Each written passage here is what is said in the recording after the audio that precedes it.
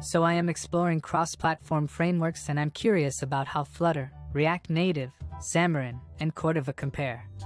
Could you explain their differences in detail? Absolutely. Let's start with Flutter, which is Google's UI toolkit for crafting natively compiled applications for mobile, web, and desktop from a single codebase.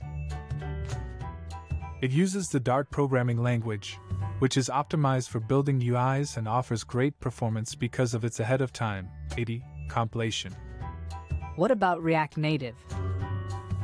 React Native, developed by Facebook, allows you to build mobile apps using JavaScript and React. Its philosophy is learn once, write anywhere, which enables developers to use the same code for both iOS and Android in most cases. It bridges JavaScript code to native components, meaning your app uses real native components on each platform. How does Xamarin fit into this? Xamarin, which is a Microsoft owned framework, uses C Sharp and .NET to create apps for iOS, Android, and Windows. It compiles to native code, so the performance is quite good. It also offers the advantage of using Visual Studio, which is a powerful IDE with many features for developers. And Cordova? Cordova, which was originally created by Adobe and now is an Apache project, is a bit different. It allows you to build mobile applications with HTML, CSS, and JavaScript. However, the apps are essentially web applications wrapped in a native container, which can lead to performance issues compared to the other options.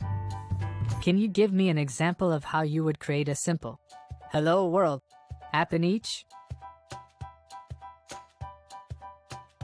Sure, for Flutter, the code would look like this.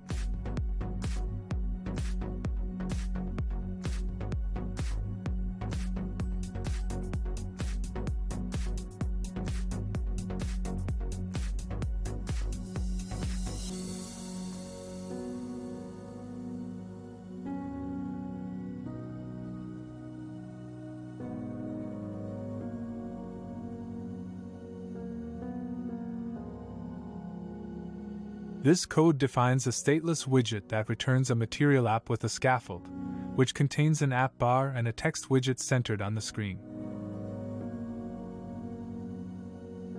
What about React Native? In React Native, it would look like this.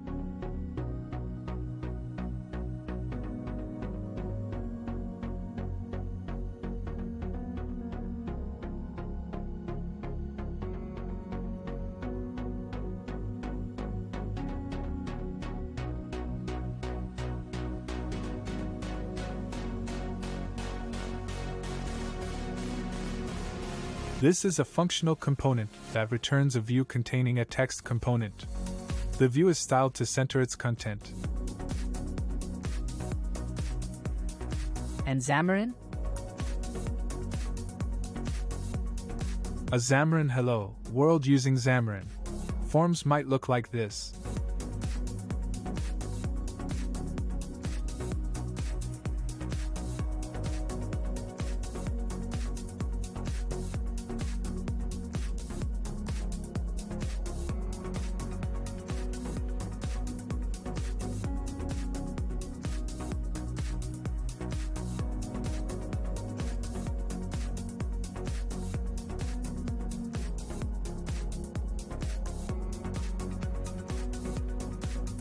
This C Sharp code creates a new content page with a label centered on the screen. Lastly, Cordova? Cordova would use HTML and JavaScript like this.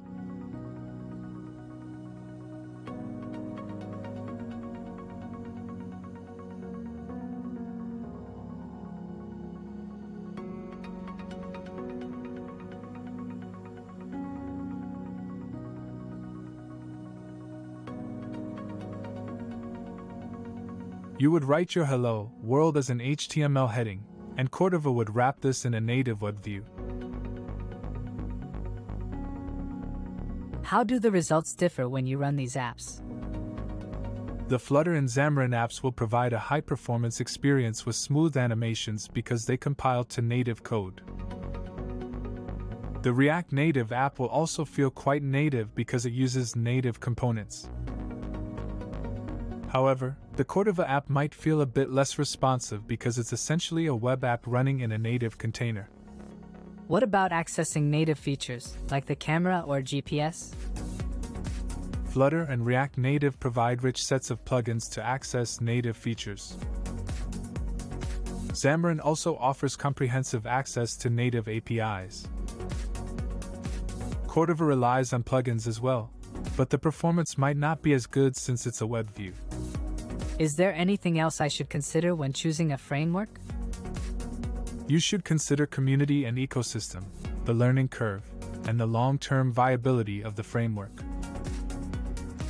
Flutter has been growing rapidly, React Native has a huge community, Xamarin is backed by Microsoft, and Cordova has been around for quite a while but is less talked about these days for new projects.